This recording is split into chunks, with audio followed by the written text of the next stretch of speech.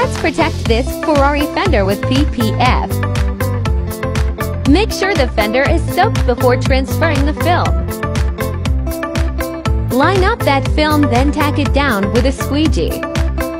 The tack solution we use is a mixture of isopropyl alcohol and water. If it is all lined up and clean, squeegee all the bubbles out.